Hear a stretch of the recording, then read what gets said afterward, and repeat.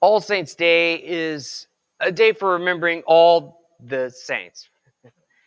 Uh, both those that we know traditionally. So think of some saints that you that you know of. Maybe the apostles, right? We think of uh, you know Saint Andrew, Saint Peter, Saint Paul. Um, we think maybe you have a patron saint or a, saint that you have particular affinity for. Like I, I love Saint Francis, uh, and and I, I look to him as an example in, in my life. Maybe there's somebody like that for you that you can think of. We also celebrate on this day the ones that we don't know about as well. So when we think of saints, we, we're often, um, I think rightly so, thinking of people that have lived some kind of exemplary uh, Christian life. And this is a really biblical idea, actually.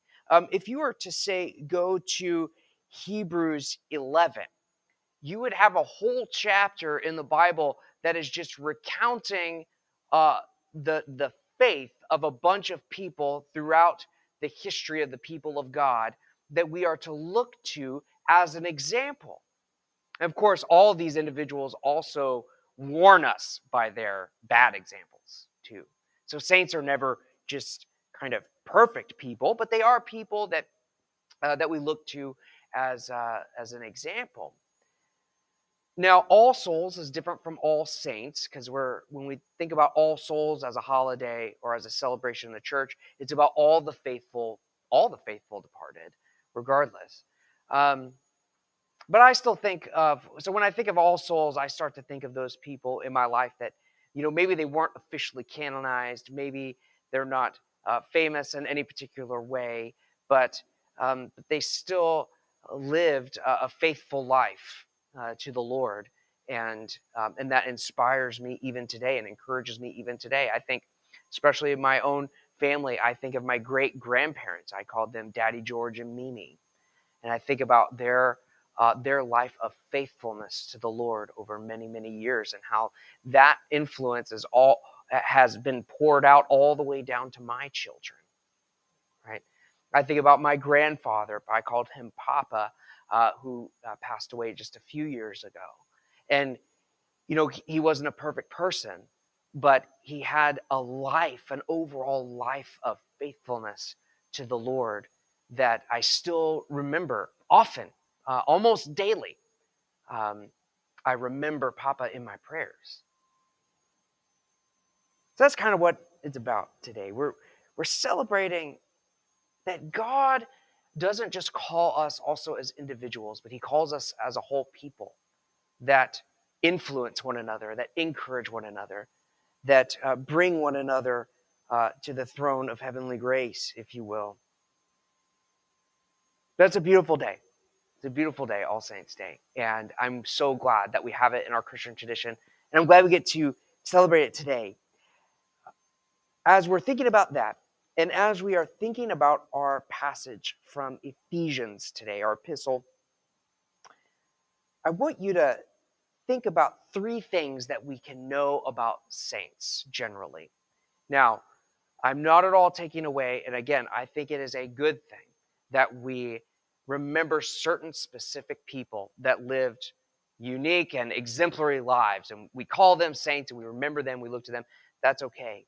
But I don't want our uh, beliefs and thoughts and attitudes around saints to be solely confined to that. And this is why, because the Bible doesn't solely confine the concept of saint to that. So let's just talk about three things here. The, the first thing that I want you to know is if you are a Christian, you are a saint. If you are a Christian, you are a saint. Remember, saint just means holy one, and holy one just means set apart from others for a special purpose.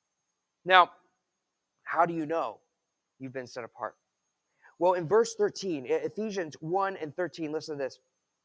In him, in Christ, in him, you also, talking about a, a whole church here, the church at Ephesus, a whole church in a whole city, so we can apply this to ourselves as well. In him, you also, when you heard the word of truth, the gospel of your salvation, and believed in him, were sealed with the promised Holy Spirit. Holy Spirit, set apart spirit, saintly spirit, if you will. How do you know you've received the Holy Spirit to make you a holy one? Well, St. Paul says you received him when you heard the truth and believed. So you can know you're a saint if you've heard the truth and believed. This is the inward grace that we mark with an outward sign of water baptism. And after baptism, we often anoint with oil. It's called chrism.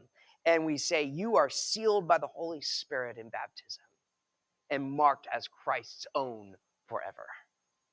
So if you're a Christian, you're a saint. Second thing, if you're a saint, you receive riches in the church with other saints. I'm going to have to qualify this. Here's what, uh, here's what Paul says in, in verses 15 through 18. For this reason, because I've heard of your faith in the Lord Jesus and your love toward all the saints, I do not cease to give thanks for you, remembering you in my prayers, that the God of our Lord Jesus Christ, the Father of glory, may give you the spirit of wisdom and of revelation in the knowledge of Him, having the eyes of your hearts enlightened, that you may know what is the hope to which He has called you, what are the riches of His glorious inheritance in the saints. Now, there's something about this that there is an inheritance that belongs to God, which is His saints, that we uh, participate in, that we receive also, that we receive benefits from. So, what are those riches in the saints that we could think of? What would be the preached word of God? Would be one of those riches. The correction that we offer one another, the love that we share with each other, the joy of knowing more of God as we know more of Christ in one another.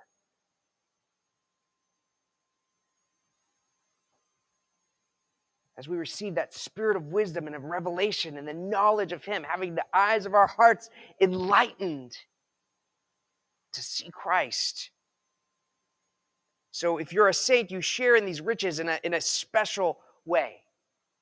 You're a member of the church. So if you're a Christian, you're a saint. If you're a saint, you receive riches in his kingdom, which is the fellowship of the Holy Spirit with one another. And then, third, this church, this group of saints, is the body of Christ. You have to know this.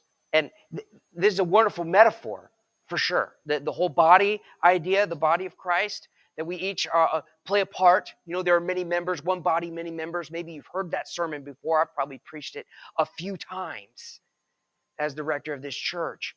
What a beautiful idea. But it is so much more than a metaphor, friends. There is something profoundly concrete about this idea that the saints are the body of Christ. There is something profoundly tangible in this. Listen to what uh, as St. Paul says here. After he says, you know, I want you to know the riches of his glorious inheritance in the saints, and what is the immeasurable greatness of his power towards us who believe, according to the working of his great might, that he worked in Christ when he raised him from the dead and seated him at his right hand in the heavenly places, far above all rule and authority and power and dominion and above every name that is named, not only in this age, but also in the one to come. And he put all things under his feet and gave him as head over all things to the church. And listen to this, which is his body, the fullness of him who fills all in all. I don't understand it. But there it is. There it is. Somehow, despite our incredible confusions, our divisions, our even rebellion against the Lord, and on and on as Christians, when we nevertheless hear the word and believe it and receive the Holy Spirit, the fullness of Christ is manifest in us. And this is how he will continue to fill the earth through his people until there is no person, place, or thing that is not radiant with the glory of his indwelling presence. Once again, I can't explain it, but there it is. It's a truth that moves us into grateful worship, I think. When we meditate on this, these three things that, that are in the scriptures, that if you're a Christian, you're a saint. If you're a saint, you have the riches of the body of Christ. And if you're part of the body of Christ, the fullness of Christ dwells in you to go out into the world, to fill the world. When you meditate on those things, goodness gracious, how can that not move you to worship, friends? What a good God that that we give thanks that sainthood isn't based on our intrinsic goodness, actually, or our miracle working power, but it's just in simply believing and trusting. Believing and trusting what God has done for the world in Christ. And so we worship Him because seeing our tendency to drift away from Him, God sets us back on track to life in Him for the sake of the world by coming to us in His Son, Jesus Christ. And Christ Himself, as divinity made flesh, is the ultimate chosen one. We can think of Jesus as the ultimate saint, if you will, chosen by God, the ultimate holy one, set apart uniquely to deal with all the things that separate us from God because only He could do it. In His divinity, Christ deals definitively with the curse of death that we bring on ourselves by our sins, by our selfish and self destructive attitudes and actions and affections, and by dying for us on the cross, by forgiving us from our sins, by forgiving those that nailed him to the cross. He unleashes divine forgiveness on humanity. And then rising from the grave and ascending into heaven, he opens the gates of heaven to all believers, the gates of his kingdom to all believers. As we simply respond to Christ's invitation to come and receive eternal life, we find amazingly that we are chosen in him. When Christ chooses, when God chose Christ, he chose us.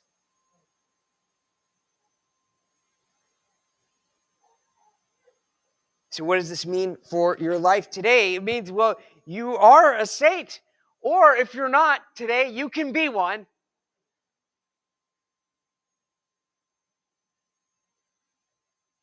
Yeah, this is the one this is the one time where joining the crowd is a good thing. Join join that crowd around the throne of God that worships him forever because of everything that he's done for us. But you know, you can be a saint in kind of this objective sense and maybe kind of know all this stuff in your head, but not let it work its way out into your life and into your, into your heart. So, so let it work, work into your life and into your heart. Three things you can know today. Three things that this that this means for you today. First of all, knowing that you're chosen by God in Christ means that you can know that you are secure now and forever, that you are sealed with the Holy Spirit, that nothing can separate you from your Maker and from the good destiny that He has for you. If you are a saint, Paul says in Romans, Paul says, Who shall bring any charge against God's elect? That means his chosen ones. So think about this. You're one of his chosen ones in Christ. Who shall bring any charge against God's elect? It is God who justifies. Who is to condemn? Christ Jesus is the one who died. More than that, who is raised, who is at the right hand of God, who indeed is interceding for us. Who shall separate us from the love of Christ? Shall tribulation or distress or persecution or famine or nakedness or danger or sword? As it is written, for your sake we are being killed all the day long. We are regarded as sheep to be slaughtered. But no, in all these things we are more than conquerors through him who loved us. For I am sure that neither death nor life, nor angels, nor rulers, nor things present, nor things to come, nor powers, nor height, nor depth, nor anything else in all creation shall be able to separate us from the love of God in Christ Jesus our Lord. If you're a saint, you're secure in the love of God. Second thing, if you're a saint, you know you have a family so important in today's day and, and age. It's important in every day and age. But our families fall apart. Our families are um, can be beautiful, can be also incredibly toxic places. But if you're a saint, and, and the family of God can also be a toxic place, so don't get me wrong. family of God can also be toxic. But if you're a saint, we have this hope that we can live in a healthy family that we can be adopted children of God and we can act like it and we can treat one another like that. We can live in that. The best kind of family. Third thing, you have a purpose. You're secure, you have a family, and you have a purpose, which is to fill your corner of the world with Christ's presence in you by letting Him direct your thoughts and your allegiances and your actions.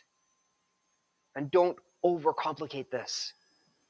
Pray, ask the Lord to guide you and to fill you with His Holy Spirit. Turn your heart to Him, love Him, as we say, as Jesus said, love the Lord your God and love your neighbor. And you'll find yourself filling your corner of the world with the very presence of Christ.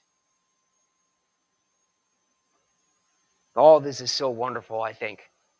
What a cause for joy this morning. But as we remember the dead, too, those that have gone before us, we remember that the, the veil that separates us can be and is often mercifully thin, if you will. But it is nevertheless there. There is a real separation between me in those that I have lost temporarily to physical death. I miss being pulled in the wagon by my daddy George. I miss going for a drive with Papa when he was a real quiet guy, so we never said anything. But just being together knowing that this guy loves me unconditionally. I miss those things. It, and I don't have them in the same way, right? The veil is real. I can't wait to see Daddy George and Papa again. We, so we eagerly wait and hope for the resurrection. And that's a big part of, I think, uh, uh, a good celebration of all saints is to remember that the reason we can celebrate is because of the resurrection, because we have this hope of eternal life with all the saints. We also, on All Saints, I think, have an opportunity to entrust those whose sainthood seems uncertain to us to Him. So there are people that we have lost or that we maybe even now, maybe we haven't lost them to physical death, but there is some kind of relational distance between us. And we don't know whether they are sainted, if you will, or not. But it's an opportunity for us to entrust even those people into the loving arms of a God and a Christ who said, that when he was lifted up, he would draw all people to himself. And that even in this passage that we find will be all in all. Now, this doesn't mean that we get to make final judgments on anybody, but it does mean that we can live in hope even in these areas of uncertainty. And so, on uh, this All Saints' Day, if you are grieving a loss or, or a distance from a loved one, no matter who it is or, or how long it's been, I want to actually do something a little different today than we do on a normal Sunday morning for All Saints. I, I want to invite you, after we pass the peace in a couple of minutes, to come forward. So just during the peace, shake your hand, wave, give somebody a hug or whatever, then come come up here. And I would like you to join me back here behind the altar during the celebration. Now, this isn't some kind of magic. this is a kind of magic thing. I'm not going to promise you that you're going to have some kind of uh, uh, crazy spiritual vision or experience or something because you're close to the altar. I know it would be nice if we could guarantee those things. But I do just want to mark it out that on this day, that when we join together in worship, um, we are united in a special way with all the saints. With St. Francis, St. Uh, Mother Teresa, St. Mother Teresa, St. Peter, St. Paul. With our grandparents, with our spouses, our loved ones, with Christ when we worship together, we're united in that special way. And I want to mark that out. So, again, you are invited and encouraged to come and stand with me right behind the altar as we celebrate the Eucharistic prayer in just a few moments. It's a special day today, and I'm glad we get to share it together as we recognize the union and the hope that all saints, known and unknown, living and dead, share in our Lord Jesus Christ, now and forever. Amen.